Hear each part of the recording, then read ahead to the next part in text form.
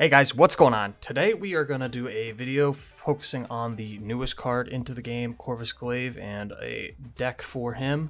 And if you have seen my latest video, that was the Hela base list. I released it right before Corvus came out, and you uh, can probably just throw him right into that deck instead of Lady Sif, and he's going to work extremely well. That's probably what you're seeing most of the time when you're playing against him in the meta right now but I wanted to bring out a deck to you that I think is a little bit different and still pretty strong and is winning very consistently. And it steals cubes from people because they're not expecting this deck and they don't really know how to play around it right now. And I think with Proxima Midnight coming out next week, this is going to be an even stronger archetype for a Corvus Glaive based list that still uses the Apocalypse and MODOK that is not being used in the Hela based lists. And the key with this deck is you are running more cards to discard. You really want to discard as much as you can. So you have cards like the Meek and the Morbius that are really to get more powerful the more you're discarding. And we're running cards that are also adding to your hand so you can run a collector into your deck. So you can discard all these cards you're adding to your hand and you don't really care as much. So with that being said, let us get into the breakdown of the collect and discard list. And first off, I have Blade as a must-have because he is a very consistent, easy to play, cheap discard, and with him being in an apocalypse list and you having other cards that could potentially discard apocalypse, you can combo that very well to discard apocalypse with say a lady sif or something and then have play your blade next and you're going to have a guaranteed discard of your apocalypse he combos very well with it and you want to have a lot of good cheap discard in this deck so you can really ramp up your Morbius. And speaking of Morbius, uh, he is a definite must-have in this list because we are really focusing on discarding as many cards as possible. So it is really valuable to have Morbius in your list, and he's easily played later in the game. You don't have to have him out on turn two for him to be effective. Honestly, he's a risk to be out that early to maybe be Enchantress or Rogued, but you are going to have a lot of discard in this list, so at worst case, Morbius is probably going to be a 2-8 for you, which is incredible value, so he's an obvious must-have in any type of list that you're really trying to discard as much as possible. And here's where it gets a little interesting. I have the Collector as a must-have because I see the value in adding a bunch of cards into your hand just to discard in this type of list because we really are looking to discard as much as possible and obviously the collector gets extreme value from you adding cards into your hand and that's why cards like swarm if it gets discarded Daken is adding a Muramasa shard into your hand. Helicarrier, if it gets discarded, adds a ton of cards to your hand. There's a lot of cards that work very well in discard to add more cards to your hand even Apocalypse is technically adding a card to your hand, so your collector is going to get buffed. So he has a ton of value in this list, and he can ramp up significantly. And obviously, you get way more value if you draw him earlier, but he can still have pretty good value even later in the game. Combos extremely well with MODOK. And we like to have Swarm in the list as a must-have because we need cards that like to be discarded. So he buffs up our Morbius and he also buffs up our Collector. So there's just a lot of value. And it's always nice to throw down a bunch of zero threes at the end of the game if you need to to fill up lanes to try to win them. And Daken is a must-have because he falls into the same realm as Swarm. Obviously, you want to play Daken, but when you play him, he has the potential to add to your collector if he's out by adding the shard into your hand and obviously the shard is a great card that you want to discard so it's going to add to your Morbius and then obviously because you're running a ton of discard you're uh, probably going to get be able to get rid of it and your Daken is going to be a 3-8 which is still good value. And obviously if we're focusing on discard and the newest card Corvus Glaive, he is a must-have. He really adds a new aspect to the discard archetype by letting you gain max energy so there's a lot of different combinations you can start doing earlier in the game. Uh, I really like to try to play him as early as I can in this list because you really get to use the benefit more of his gained energy and him discarding two cards with you having a ton of cards in your list that you want to discard works extremely well so you're going to really get a ton of value out of him most of the time.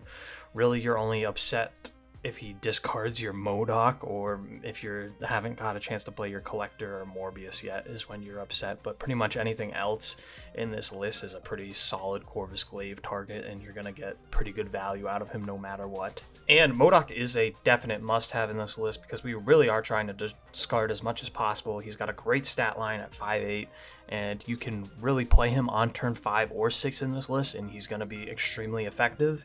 He has the ability to, if you are playing a Dracula based list, discard your hand potentially and only leave Apocalypse in it for your Dracula to hit Apocalypse, and obviously that will be huge. He works extremely well with Helicarrier to really buff up your collector on turn 6, potentially if you discard that and add a ton of cards to your hand. Or if you've already discarded Helicarrier, he will add a ton of value to your Morbius because there's going to be a ton of junk in your hand potentially that you just want to get rid of. Very strong card in the deck where you're really just trying to discard as much as possible. And as I was just saying in the MODOK explanation, Apocalypse is a must have in this list. He's a great card to have in your hand at all times in this deck just because he's always a good target to be discarded. He adds value to your Morbius, he adds value to your Collector, just all around solid. And like I said, if you're playing a Dracula and you can empty out your hand, he works great in that as well. And our final must-have in this list is Helicarrier, and that is because, like uh, a few of the other cards we've mentioned, it's a great card that you have that wants to be discarded, so it adds a ton of value for your Morbius or your Collector because of the fact it's going to add all those cards to your hand. And surprisingly enough, you'll find that a lot of these cards that get added to your hand, even though they're random, the randomness is completely unknown to your opponent as well. So that there can be potential plays that you're not even prepared for, or your opponent's definitely not going to be prepared for, that is going to just help you win the games. So there's a lot of value in a Helicarrier adding cards that your opponent is not going to know, especially if you're playing the Conquest game mode where you're going to consistently be playing the same opponent and they're going to know what's in your deck. And moving on to the flex cards, there are quite a few options in here because there's really depending on the style you like to play. If you want to play more of a discard based list and not focus as much as collecting a lot of cards, you can do that. You can also do the opposite, focus more on collecting cards and a little bit less discard.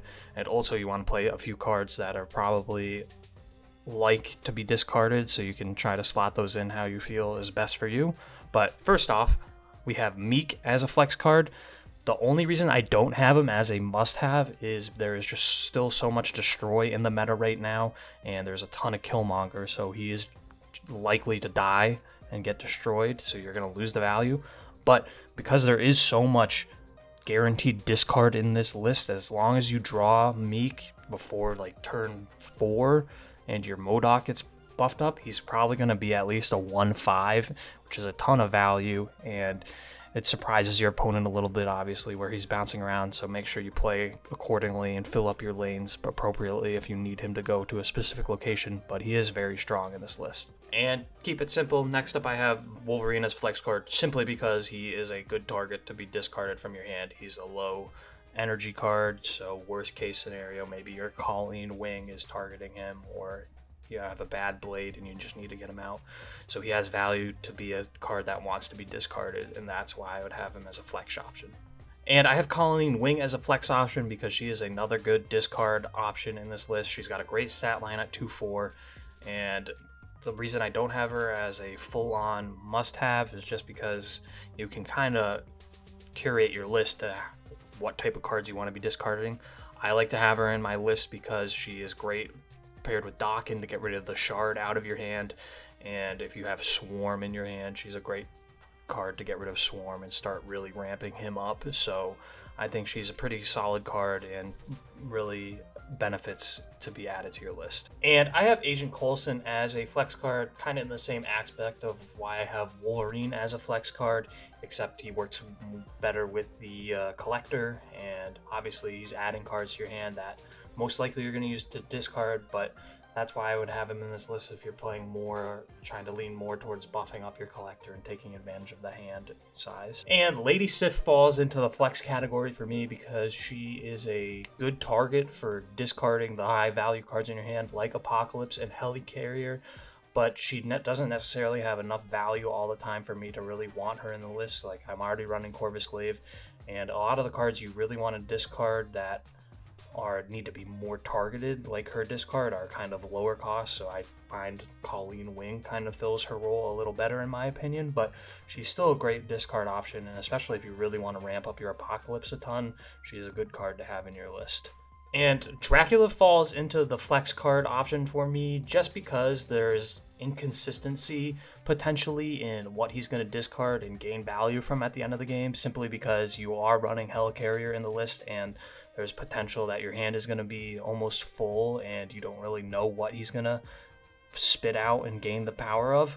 But there is a lot of benefit, obviously, when you're running Apocalypse with Dracula. So he is a pretty strong card in this list if you can properly plan out your turns and get Apocalypse being your standalone card at the end of turn six. So I do think there is value in adding Dracula into most of your heavy focus discard lists. And finally, I've Hela as a flex option in this list just because there's so much discard right now in your list.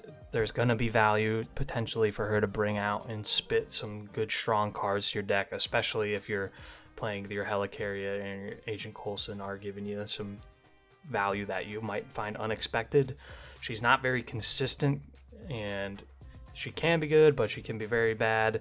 So that's why I really have her in a flex option. She's just an okay card, but if you really want to have fun and you can get her out earlier with Corvus Glaive, she's a decent option for you. So that was our quick breakdown and overview of the must-haves in the flex card in this collect and discard Corvus-based list. It's performing pretty well, but let me know what you guys think and how it's working out for you. I think, like I said, it's going to get much stronger with Proxima Midnight coming out next week. And before we get to the infinite gameplay, this is the part of the video I'm going to remind you guys there's over 95% of you that are watching this channel that are still not subscribed. So if you could please remember to hit that subscribe button, it would really help me out. But without further ado, let us get into some Mario gameplay. First up, we got Lakitu.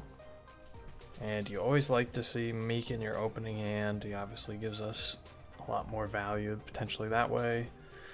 And Blade pairs very well Daken in a few turns, so we're just going to get Meek out for now.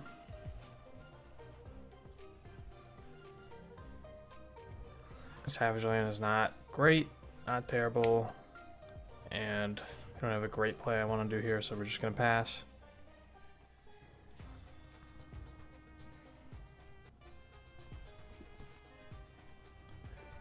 And in this deck, you really want to see how your draw goes to really know if you need to play Dracula or not to get yourself to win the game.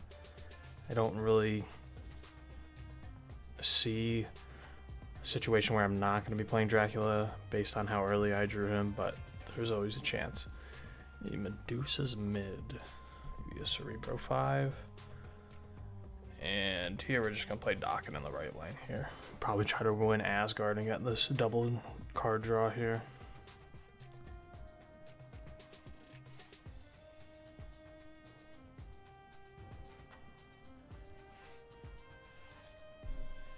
Now we have two potential ways to get rid of the Muramasa gonna Iceman. Okay. And Helicarrier is fine. We're actually just gonna Colleen Wing and Blade. Pretty decent value here for us. We're gonna get the randomness of the Helicarrier. And I still won the position even with the Negasonic, which is huge. Hobgoblin Shuri, Goliath. Okay, those are some decent.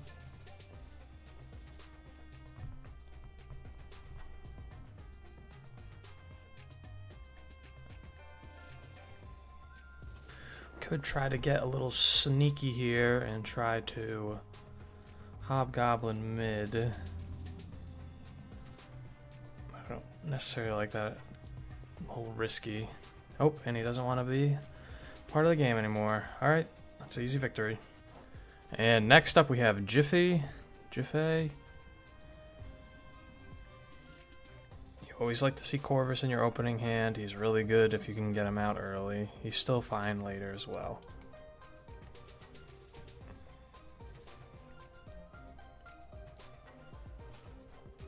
Hood, some type of junk deck or a bounce. Get an Ironheart added to our hand, which we don't care. And we're just going to go ahead and Colleen Wing here. Get rid of that Swarm. It adds it to our hand for two potential Corvus Glaives targets because we don't really want him to discard Dracula now that we have Apocalypse in our hand. Jeff is not going to do a lot right now. Into an Asgard. And I'm going to go ahead and Corvus here. There's too much potential value in my hand. Half of the hand is a good discard. yeah, of course.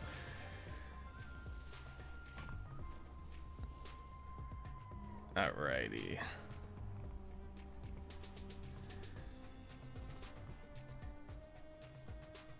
I don't really need to win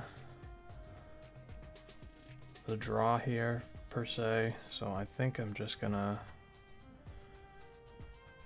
throw Doc in there, the off chance I win, and load up for the MODOK next turn with the Muramasa.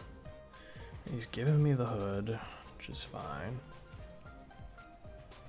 Meek and Morbius, okay.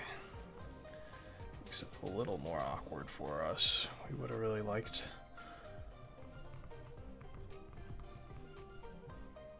So I'm gonna go ahead. We're gonna Meek. MODOK. and double swarm in the middle. Get three discards, get that Meek up to a 1-4, which is good value. Our Daken is buffed. We know he's got a 6-12 in his hand. That's fine. And he has way more in his hand for us to win the game with. Um, okay.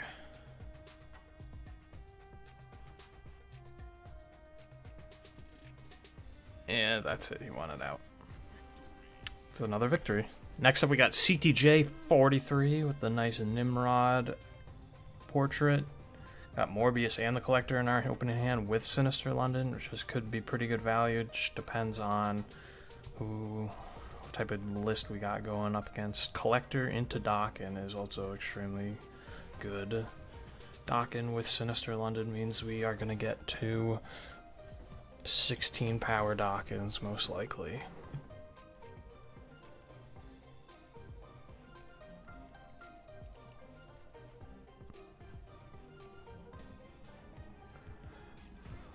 Get that collector, double collector boost.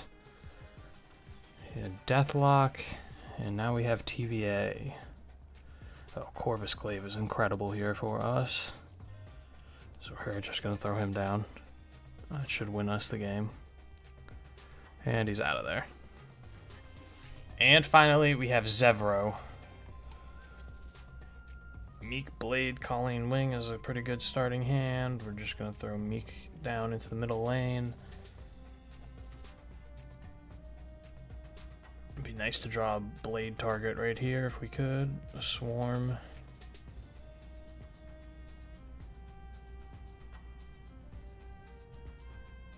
Morbius is a fine card draw. We'll go ahead and throw him down.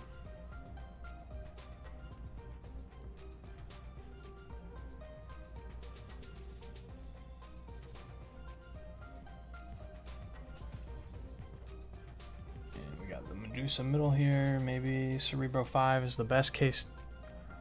Crown City final location reveal. Doesn't really do anything for us. This is now a very clunky hand.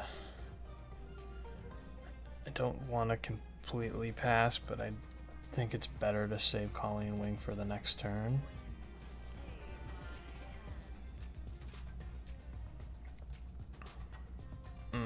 We go. Daken into Blade is extremely strong now, so I'm glad I held on to Blade here.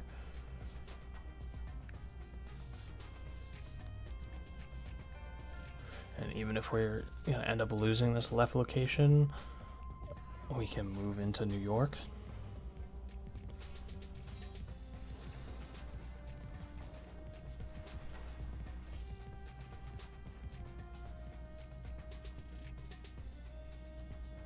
Collector would have been a great draw last turn.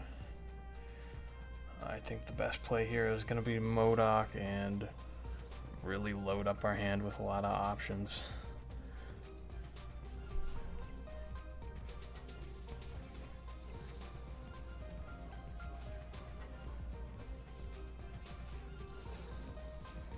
And he throws down an Iron Lad into a Miss Marvel.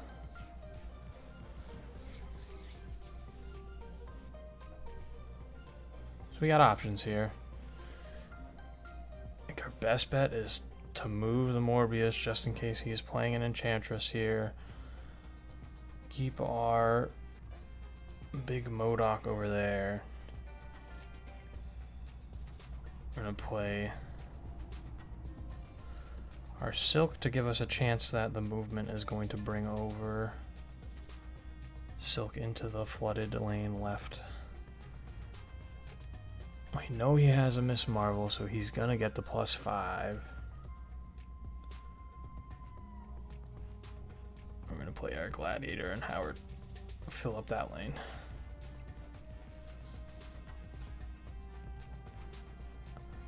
Gladiator hits strong chi. Good thing we didn't have anything in that lane. To our Howard the Duck. He's marveling as we expected.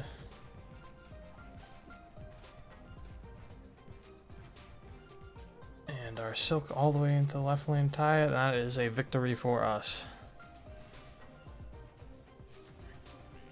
Thank you, Crown City. So guys, that was some high-level gameplay and deck breakdown and overview of the collect and discard deck.